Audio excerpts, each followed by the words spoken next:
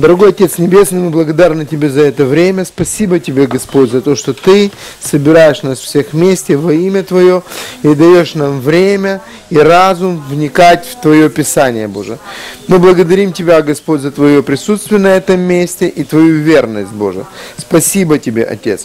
Мы отдаем это время Тебе и просим, Господь, научай нас Твоим путям. Бешем Ишуа Машихейну. Амен. Амен. Возвращаемся к четвертой главе книги Бытия, к истории Каина и Авеля. Скажите, пожалуйста, что нам говорит слово «также»? И он. А после, потом. После. Есть вопрос. И он. Также это повторение. Я ответил на ваш вопрос? Пожалуйста. Теперь закрываем все дружно Библию и возвращаемся к нашим представлениям. Да? Вы имели мудрость почитать вчера это место Писания, да?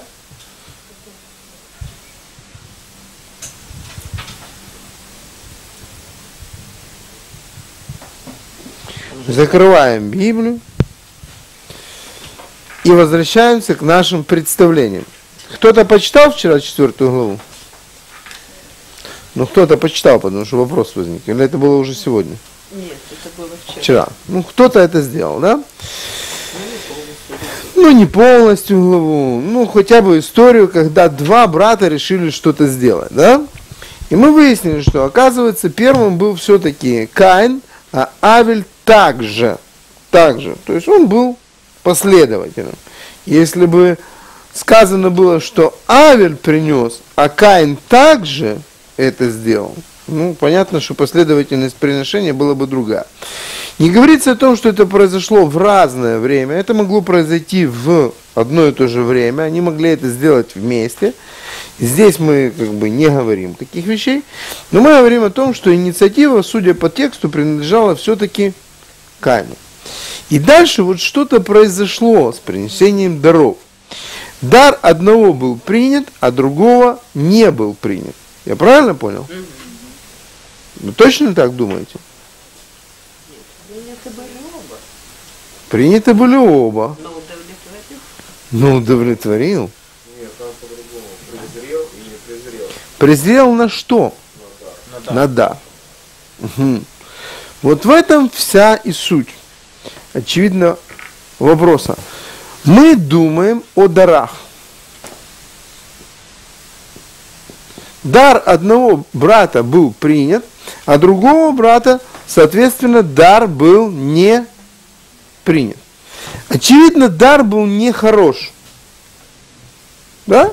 И один дар он устраивал Всевышнего, а другой дар он, собственно говоря, по каким-то причинам Всевышнего не устроил. Да? Да, хорошо. Скажите мне, пожалуйста, а почему же тогда Всевышний презрел на дар Авеля, а на дар Каина не презрел? А, Мне кажется, можно? Ну, там по Писанию, если рассматривать, он сначала э, презрел на Авеля, а потом на его дар. И, и по, как бы, я так думаю, это мое мнение, по контексту, сначала он рассматривал личность, э, сердце личности, а потом уже дар. Вот. Это мое мнение. А потом далее там написано, а на дар э, Каина, и, э, точнее, а на Каина и на дар его не презрел. То бишь, он тоже рассматривал в первую очередь сущность человеческую, а потом его дар. Мгм. Там есть еще интересные моменты, которые указывают на образ жизни Авеля и Каина. Значит, даже если рассмотреть род деятельности и Авеля, и Каина, можно уже кое-что сделать, кое-какие выводы об их характерах. Э, Значит, поскольку, поскольку э, Земля на тот момент, можно сказать, только-только отстранена была от Эдема, вот человек, климатические условия были намного лучше, чем сейчас, и сельскохозяйственная деятельность в плане вот, э, выращивания растений не составляла особого труда. Посеял, потом пришел, собрал урожай. То есть вкладывать в это свое сердце, себя, свой труд какой-то особо не нужно было. Значит, э, еще один момент. Куча свободного времени. Занимайся все остальное время, чем хочешь. Тогда как скотоводство предполагает работу без выходных, э, соответственно, вклад какого э, своего сердца, забота об этих животных. При всем при этом нужно еще учитывать такой момент, что, в принципе, они не ограничены были в выборе своей деятельности. Значит, э, и, соответственно, можно сделать вывод, что каждый выбрал себе род занятия именно по тому, что было в его сердце. Чем хотел человек, тем и занимался. Значит, еще один момент интересный. Э, Значит, э, человек, занимающийся выращиванием растений, э, он наверняка изначально просчитал свою предварительную прибыль из этого, поскольку, поскольку растениеводство и скотоводство отличается тем, что доход от растениеводства намного выше. Одно посеянное зерно приносит, ну, как минимум 10 колосочек, тогда как одна овца приносит 2-3. То есть, соответственно, процент дохода уже намного ниже в овцеводстве. Значит, и есть еще один момент, уже непосредственно из текста истекающий, значит, где эм, Значит, у Каина поникло лицо, и Всевышний четко, конкретно говорит, если делаешь доброе, не поднимаешь ли лица. А мы знаем, что у Каина лицо поникло, стало быть, он не делал доброго. То есть образ жизни его в свободное от работы время абсолютно не устраивал Всевышнего, он не делал доброго. Ну, как бы это моменты, которые вот когда-то мне были открыты, потому что я Однажды мне задали вопрос, почему Авель убил Каина. Мы начали с братом раз- размышлять на эту тему. Дух Святой сошел и эти моменты открыл. Итак, меня все-таки интересует, дар являлся причиной, потому что здесь была сказана очень интересная мысль. На самом деле дар был ни при чем. Бог принял человека. Так вот, Бог принимал человека или дар? Он принимал сначала человека, потом дар. Но исходя из сердца его, э, он, он- Сейчас мы будем говорить, исходя из чего. Пока очень интересно, человек или дар?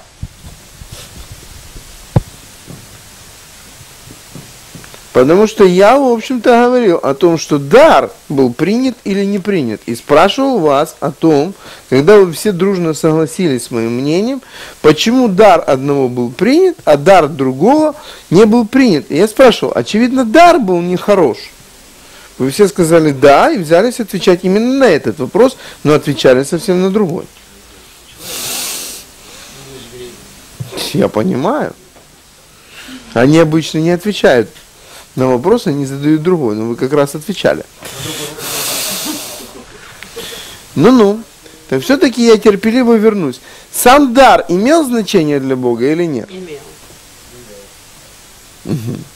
Тогда, я думаю, не совсем он имел. хорошо. Отчасти э, в пер- Мы пока ограничимся. Если мы каждый начнем свободно полемизировать на эту тему и немного проповедовать, мы не закончим.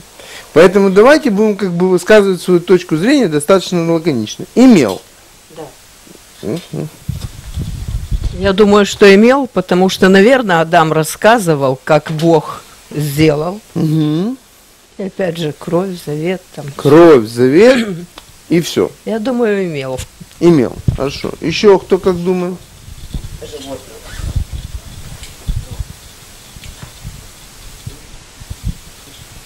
То есть есть такое мнение, как дар Авеля был связан с жертвой, с кровью, да, а дар Каина был продуктом проклятой земли. Да? И очевидно, поэтому, может быть, он не устроил Всевышнего. Э, Тут проблема некоторая. Я ближе к Писанию, чем к, к откровению. Пока с откровениями чуть-чуть позже. Да. Не, Я думаю, что если все-таки придерживаться текста Писания, э, э, Бог расценивает дар, исходя из того, кто его приносит. Каков э, внутренний тот человек, который приносит ему дар. Тем более, что из Писания мы можем видеть множество мест, где Бог говорит, что мне дары ваши противны, потому что вы делаете одно, а говорите одно, делаете другое. Но принимает ли Бог от человека продукты проклятой земли? Да. Где это мы видим? Ну, хлебное возношение. На самом деле мы видим пять основных жертв, и три из которых состояли из продуктов земли, хлебное приношение. И могли содержать из-за отсутствия финансов тоже хлеб. Вторая часть. Десятина являлась святыней. Да. Угу. Из чего она состояла? Итак, очевидно, что по тексту, большое спасибо, видно, что Бог принимает человека. И презрел Господь на Авеля и на дар его. А на Каина и на дар не презрел. Вопрос не в даре.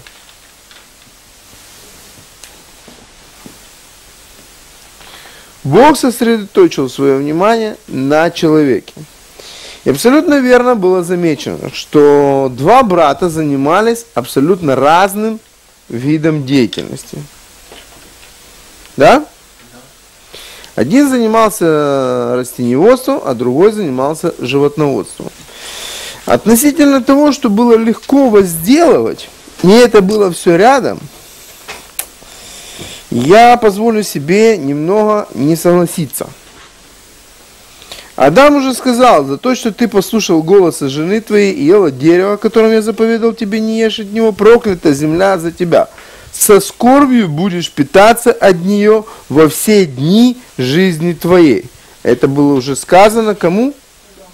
Даму. Я продолжу, потом, пожалуйста, я ничего не возражаю. Терни и волчья произрастит она тебе, и будешь питаться полевой травой. В поте лица твоего будешь возделывать и есть хлеб. Я это сказал в сравнении с нынешней ситуацией. Если сейчас э, растениеводство выгоднее овцеводства, то тогда и подавно. Не, я не имею ничего к тому, что выгодно и что невыгодно. Я говорил о той части, что растениеводство не требовало больших затрат и усилий. Я говорил о той части, что как бы земля была, в общем-то, только что вот недавно был Эдем, все было хорошо, и тут все изменилось, и это как бы было недавно. И поскольку это было недавно и очень близко к Эдему, поэтому не требовало больших усилий. Очевидно, что Всевышний говорит, у тебя есть легкие проблемы, и ты будешь добывать хлеб в поте лица. То есть это занятие требовало достаточно больших усилий. Я об этом. Я сейчас не говорю о процентном отношении, о том, как что возрастает, насколько выгодно один вид занятий от другого вида занятий. Но мы можем сказать, что Адам, он добывал свой хлеб в поте лица. И это было занятие не из простых. Не из простых. Труд земледельца, он, в общем-то, сопряжен с определенными усилиями. Потому что земля, она произрастила что? Терни и волчицы. И, соответственно, сбор урожая, выращивание его, оно сопряжено с определенными усилиями. Почему? Потому что земля произрастает, произрастила терния волчица. Значит, там что-то надо было сапать, чтобы бурьян не заглушал чего-то, ну, какие-то вещи были. И труд, он, в общем-то, был достаточно серьезным. Итак, мы видим двух братьев с абсолютно разными родами занятия. И род занятий, как мы знаем, тоже справедливо замечено, определяет ментальность человека или его склад. Его поведение, его поступки. Определяет род занятий. Мы прекрасно помним в подсоветское время – если человек торговал на овощном лотке, в быту мы легко определяли этого человека. Да? Могли определить? Да, ну мы, как правило, это такое нарицательное больше, нарицательное такое сравнение, пример. Или если человек преподавал в высшем учебном заведении, его поведение явно отличалось от поведения другого человека с другим родом занятий. То есть род занятий, он накладывает на нас определенные вещи. Если человек, в общем-то, целый день кричит, то в быту, как правило, он тоже достаточно эмоционально и громко может выражать свои если человек, в общем, на работе достаточно тихо и равномерно разговаривает, так что студенты засыпают, да, очевидно, дома его речь не меняется. Да? Род занятий, он определяет манеру поведения, общения и многие другие вещи, которые делает человек, и в том числе его поступки. Земледелие – один из очень интересных, в общем-то, родов занятий. Земледелие было таким занятием, которое заставляло людей подвигаться к коллективному труду. Да? Земледелие показывало человеку, насколько он зависим от стихии мира и до сегодняшнего дня в том числе. Скажите мне, пожалуйста, при уровне современной техники – современного земледелия, если придет засуха, много там вырастет? Ну, к примеру, человек напрягся, э, организовал систему орошения, подвез воду и поборол засуху. Ну, вот кремень, человек такой сильный был, и он поборол засуху, все, он заставил все-таки этот урожай вырасти. Отлично, он вырос. Но когда он вырос, пошел дождь. Пошел дождь. К примеру, можно убрать урожай. При всем уровне земледелия уже этого нельзя сделать. И человек будет глазками смотреть на этот урожай и видеть, как он погибает. И ничего сделать не может. Саранча, тля, еще какие-то вещи. То есть стихии мира, они влияют на то, что вырастет на этом поле. И когда мы посмотрим на цивилизации, которые занимались, в общем-то, земледелием, мы увидим, что эти цивилизации, как правило, достаточно активно поклонялись стихиям мира. Угу. И почему поклонялся? Солнцу. Ну, основное божество было Солнце. От него зависело достаточно много. Как считали египтяне. И Всевышний, Всевышний, позднее давая законы своему народу, ввел отдельные законы для земледельца, показывающие, что человек не зависит от стихии мира.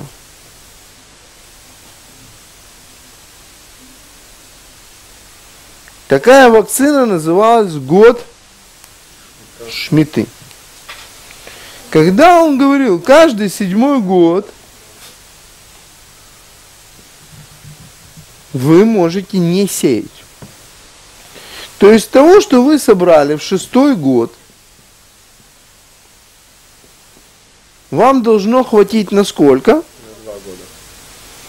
Вы это будете есть здесь, потом вы не посеете – вы этого не будете есть. Потом вы посеете, и вот здесь вы будете питаться. Вот этот промежуток времени.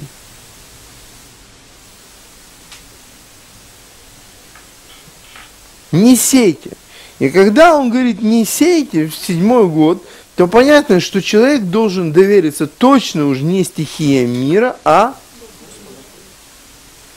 такое в общем-то, лекарство было дано для евреев. Да? И послушание в данном случае, оно должно было быть связано с очень большой степенью доверия Всевышнему. Что мы доверяем Ему, что нам хватит. И то, что вырастет. Представляете, если бы здесь не выросло? К примеру, да? Что тогда? И год Шмиты – это степень очень большого доверия Всевышнему о том, что Он действительно позаботится, и этого хватит. Род занятий, он определял ментальность и отношение к другим. Как это ни странно. Позднее мы видим египтян. Основным видом занятия египтян было что? Земледелие. Культура земледелия. И казалось бы, какая разница? Один человек занимается земледелием, другой занимается скотоводством. Каждая профессия, как нам говорили в детстве, хороша. Но что мы видим в Бытие, 46 глава, 34 стих? Что мы видим? Бытие, 46 глава, 34 стих. То вы скажите, мы рабы твои, скотоводами были от юности нашей, до ныне, и мы, и отцы наши, чтобы вас поселили, поселили в земле Гесем. Ибо мерзость для египтян всякий пасущий Овец. овец. Странная история.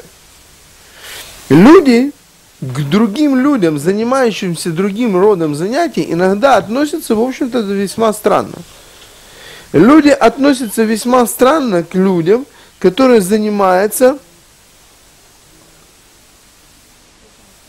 животноводством. Другое мировоззрение. И действительно, животноводы, скотоводы про... проводят свое время абсолютно различным образом. Труд животновода, он не такой тяжелый, как труд земледельца. Земледелец должен обработать почву. Нелегкое занятие. Земледелец должен посадить что-то. Земледелец должен смотреть, чтобы тернии не заглушили. Земледелец должен поливать, если нужно, да? Земледелец должен собрать все это дело. Земледелец должен сохранить все это, куда-то сложить, потом перемолоть и так дальше. Достаточно много технологических операций, которые делает земледелец.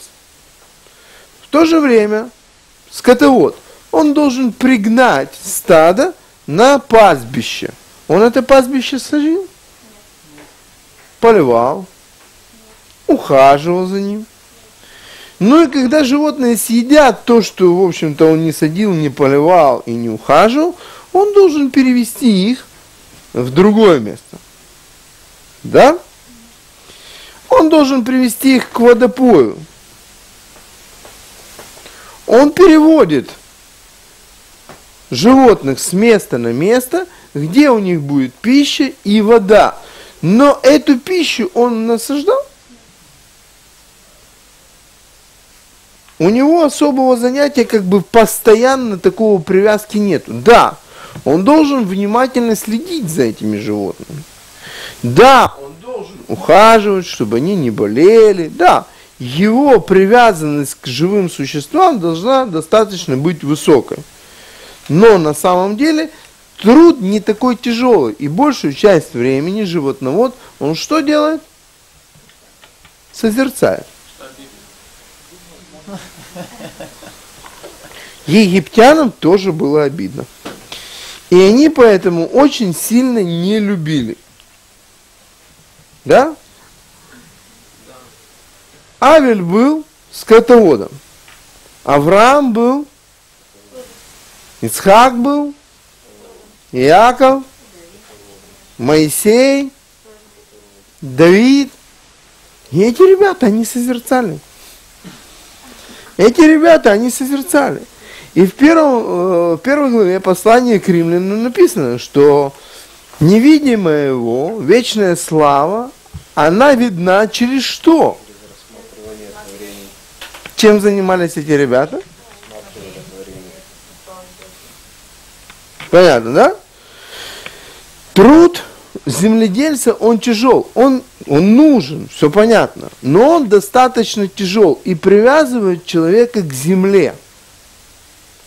Очень сильно привязывает человека именно к земле, к зависимости от стихии мира.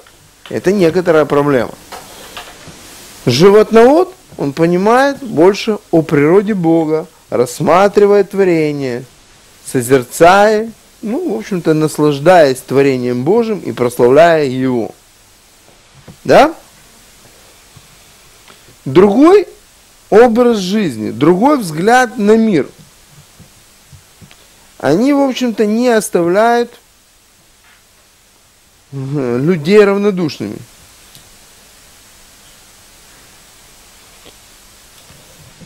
Они не оставляют людей равнодушными. Когда мы трудились в каком-то коллективе, да, мы работали, что-то делали, все было хорошо, и нас принимали, нас уважали, нас любили, да, ну как-то к нам относились. Но наступил момент времени, когда мы посмотрели на жизнь по-другому. Да? Вот мы жили, все было хорошо, потом мы пришли и сказали, да, кстати, мы узнали, что Бог есть. Остались ли окружающие люди равнодушны к этому известию? М? Остались они равнодушны? Остались, наверное. Вам никто ничего не говорил? Реакция в любом случае есть, но она. В любом случае есть какая-то реакция. И вы знаете, очень странно. Часто эта реакция негативная. Часто очень эта реакция негативная. Для мужчины, который, в общем-то, стал верующим, ему говорят по-прежнему, слушай, пойдем проведем время с нами. Ты же один из нас. Вы говорите, нет, я не буду участвовать в том, что делаете вы. Как? Ну, был нормальный человек.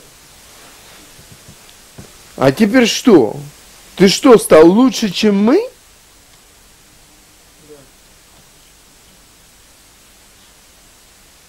Родственники, они остались такими же безразличными.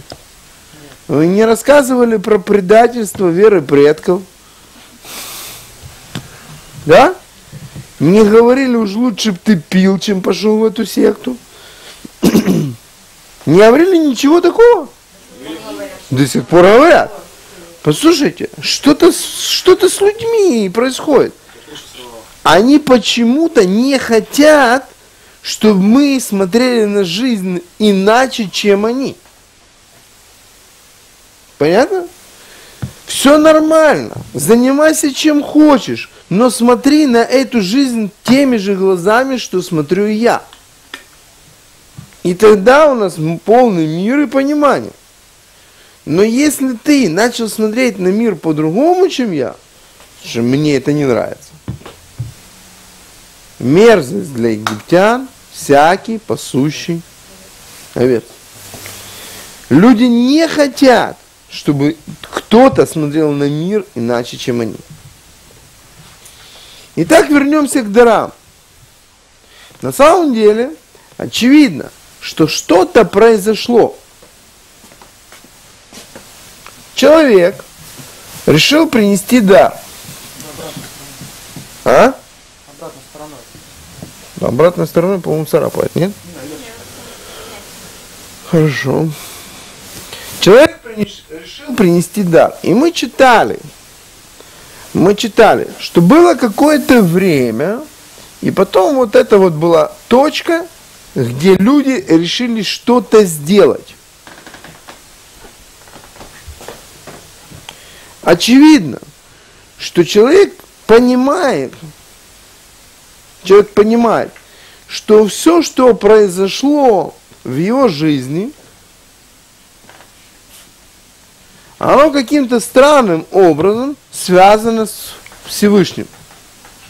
Да? Это были два парня, которые жили очень рядом, недалеко от Эдемского сада. Их папа, в общем-то, общался с Богом, лицом к лицу, гуляя с ним в прохладе рая, дня. И как вы думаете, папа им что-то рассказывал о Всевышнем? И мама, и папа им что-то говорили. И они понимали, что жизнь человека каким-то странным образом, она связана вот с тем, от кого все зависит. И когда папа с мамой поступили каким-то странным образом, их жизнь, в общем-то, изменилась.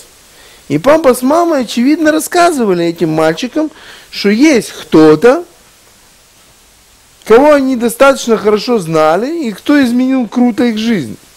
И теперь благодаря одному неверному шагу, в общем-то, их дети ну, имеют некоторые сложности в жизни. И, наверное, же говорили им, слушайте, вот с тем вот, кто над нами, шутить, наверное, не надо. Лучше с ним быть в хороших взаимоотношениях.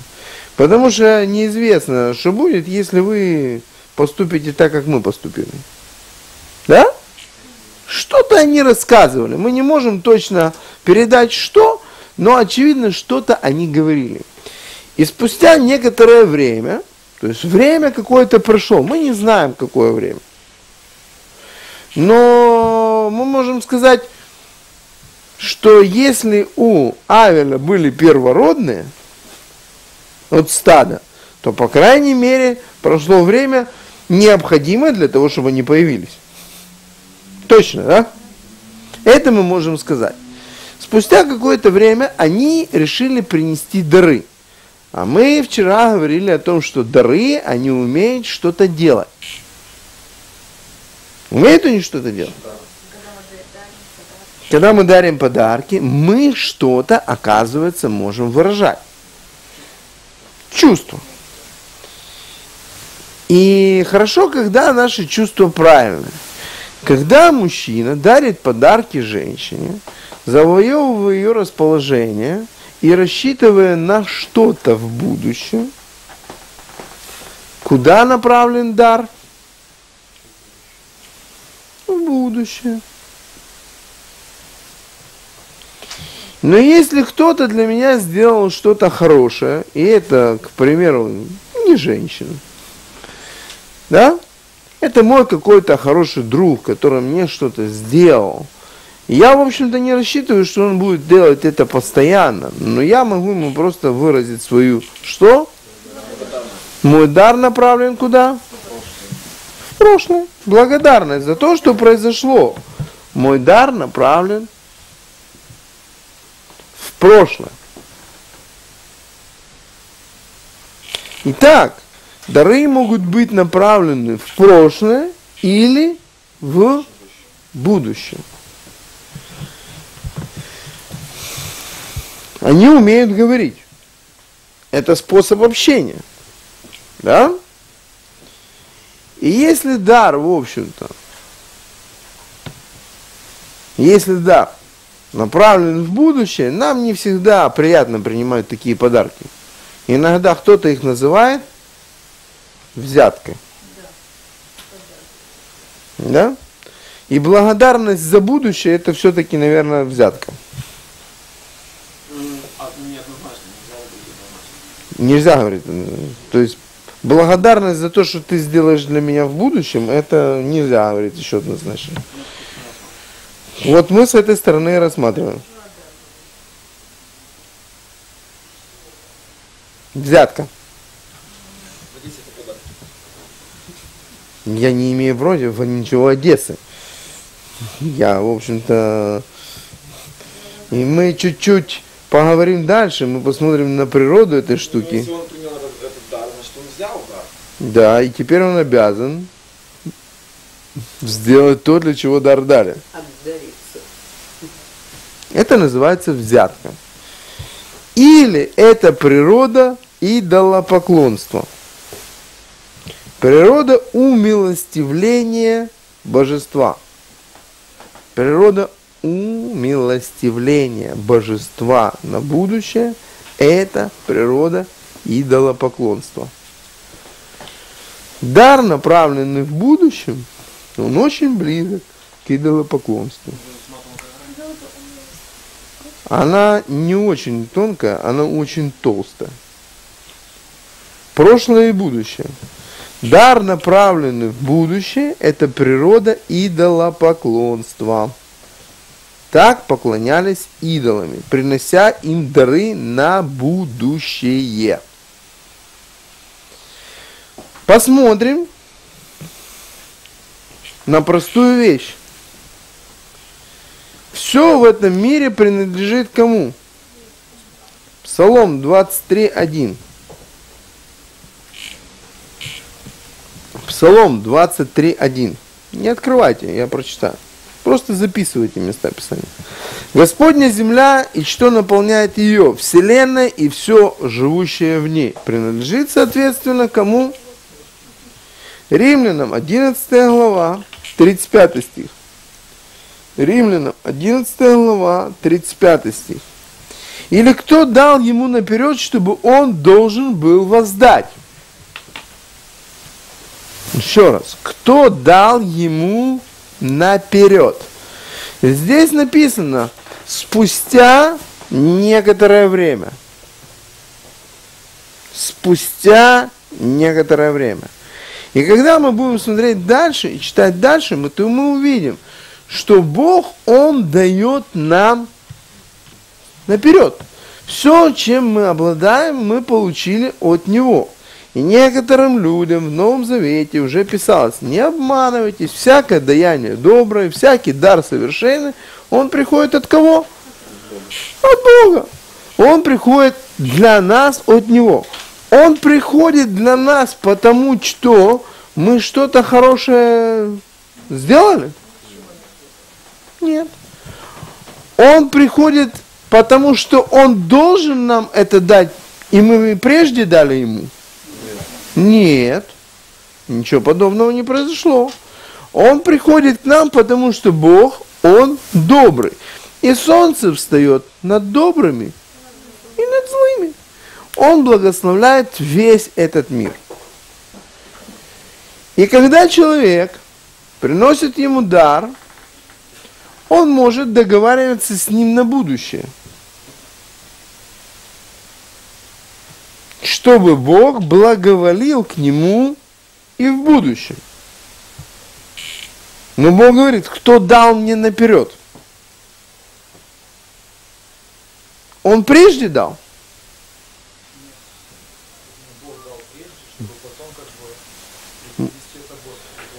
Да, чтобы это была благодарность. Да, чтобы это была благодарность. Можно сказать, это мысль очень хорошая. Но за то, что Господь дает нам каждый день, мы как бы потом Его благодарим за то, что Он нам дает. Даже за, за то, что ты живешь, уже должен благодарить Господа за Да. то, что ты дышишь и тому тому подобное.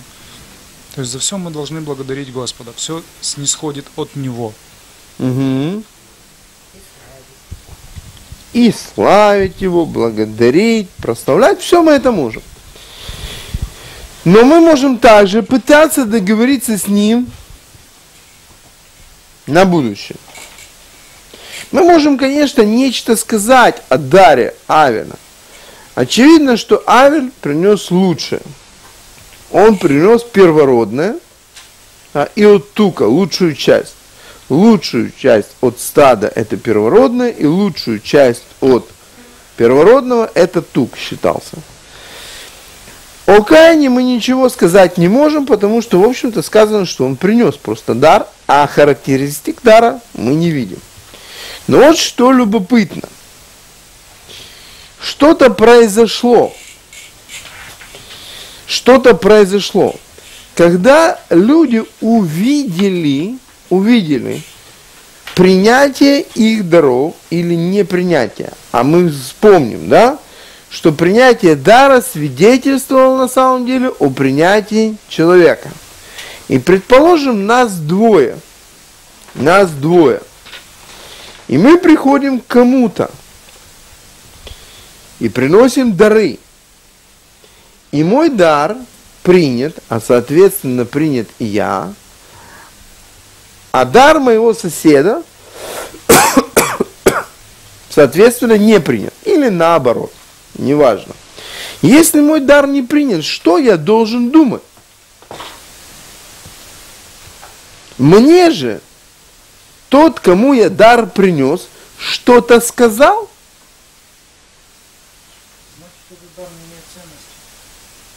Мы помним, мы помним, что прежде всего принимающий говорит что-то мне.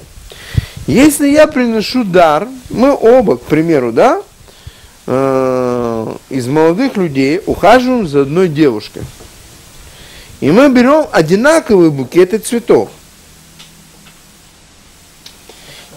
И мы приходим к одной и той же девушке. И у одного цветы принимаются, а цветы другого не принимаются. А, смотря как преподнести цветок. Если я просто подойду тупо и скажу, возьми это тебе, это одно. А если он подойдет и скажет, э, там, Светочка, дорогая, вот это тебе, это цветы, вот от чистого сердца, а там и тому, тому, тому подобное, конечно, она растает и возьмет их э, лучше, да? Или, допустим, как бы А, дело в том, а, я бы хотел бы сказать, все зависит немаловажный фактор, кто приносит цветы. И даже если бы тот Понятно. Кто приносит цветы? Что ты хотел? Меня сейчас, честно говоря, просто удивило. Но это не к тебе конкретно, но вообще вот эта мужская самоуверенность. Сказал несколько слов, и женщина должна расставить. Давайте предположим, давайте предположим, гипотетически. Послушайте, вдруг, давайте предположим гипотетическую ситуацию. Я постарался сделать равные условия. Вы почему-то решили их изменить. Я причем старался сделать равные условия. Я говорил, цветы даже одинаковые. Я понимаю. Смотрите. Нас интересует принцип. Дары были действительно разные, но мы говорили о том, что дары сами по себе не имеют абсолютной ценности перед Богом, потому что Он дал все наперед человеку, поэтому его сам дар не интересовал. И в тексте Писания мы видим, что внимание Бога было обращено на кого? Значит, соответственно, сам дар не имел особого значения. Согласны? С этим все нормально? Но я еще упрощаю условия. Меня интересует мое переживание. Меня интересует мое переживание. Я беру какой-то дар, неважно какой. И для того, чтобы было понятно, я беру достаточно ясную, простую ситуацию. Когда мужчина, ну, я не знаю, может наоборот можно поменять, когда женщина дарит мужчине, ну, поскольку я, в общем-то, мужчина, поэтому я приношу такой пример, я прошу сестер меня простить. Мне он проще. Когда вы будете учить на эту тему, вы будете приводить другие примеры, чего надо дарить братьям.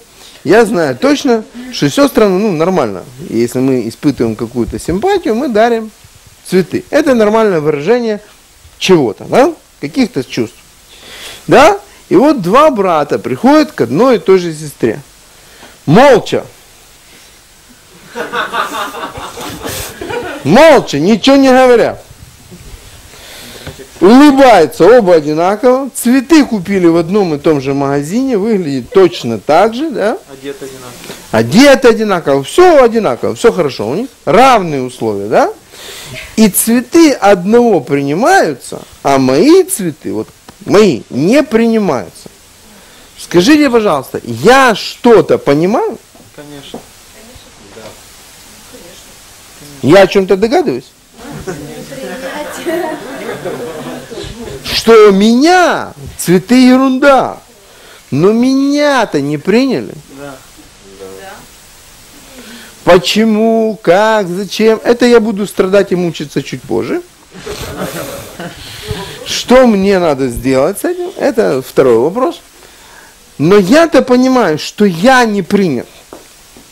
И Писание очень четко говорит о том, что Каин, он не был принят. И как свидетельство того, что он не был принят, его дар тоже не был принят. И он это увидел точно так же, как и юноша. Что, что произошло? Вы что-то хотели? Нет, я просто понял, почему. О, пожалуйста.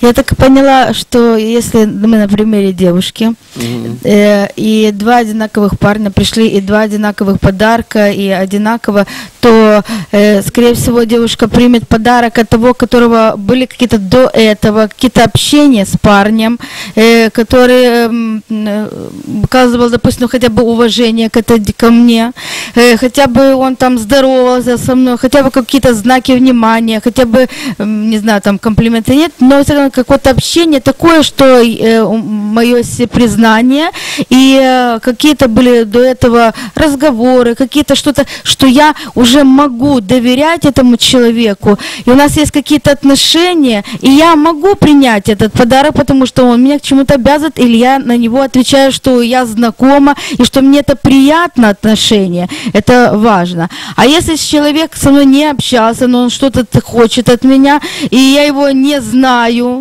я не знаю, он приходит и дарит подарок. Я не знаю его характера, я не знаю, чем он, э, о чем он думает, я не знаю его сущности, почему он дарит мне этот подарок, и что он еще в будущем хочет от этого. Ну, то есть, я думаю, что так и Авель, наверное, у них были отношения с Господом, и он был рад, и, э, э, ну, он знал, ему приятно было это. Да. Так, все, я понял. Дальше Я мы поняла, почему. Ну, есть причина. Могла я себе мой мидраж? Абсолютно. Это мы, братья, слушайте, о чем думают сестры, когда они не берут или берут подарки.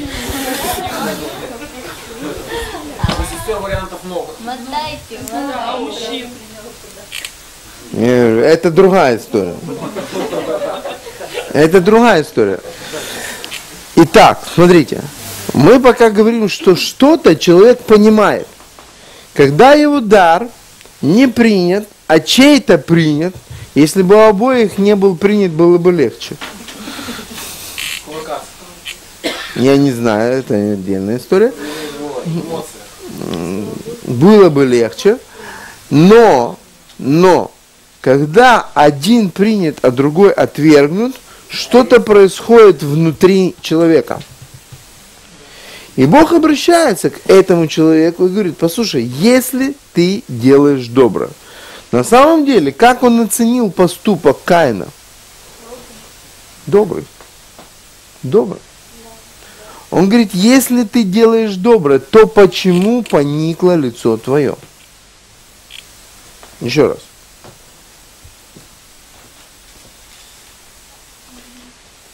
Почему ты огорчился и от чего поникло лицо твое? Если делаешь добро, то не поднимаешь ли лица?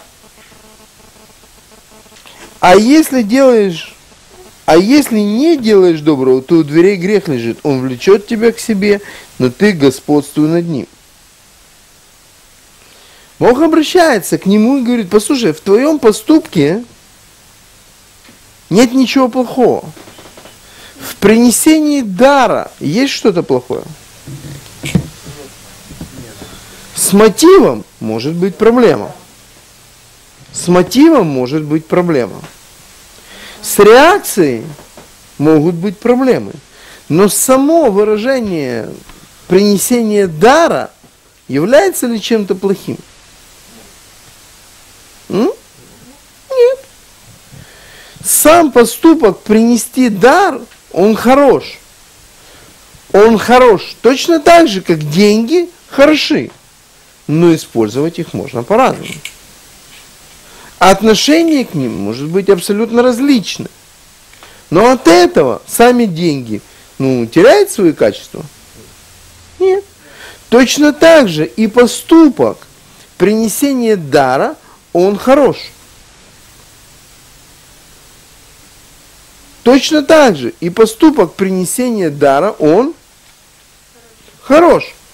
Но мотивы, с которыми приносил он этот дар, вопрос. Реакция на то, что произошло, вопрос. И Бог обращается к нему и говорит, послушай, грех, он лежит возле твоих дверей, но ты можешь что делать? И это чей выбор? Человека. Что он сделает и как он поступит с тем грехом, который лежит вот там. И мы поговорим после перерыва о том, все-таки, что же двигало одним братом и что двигало другим.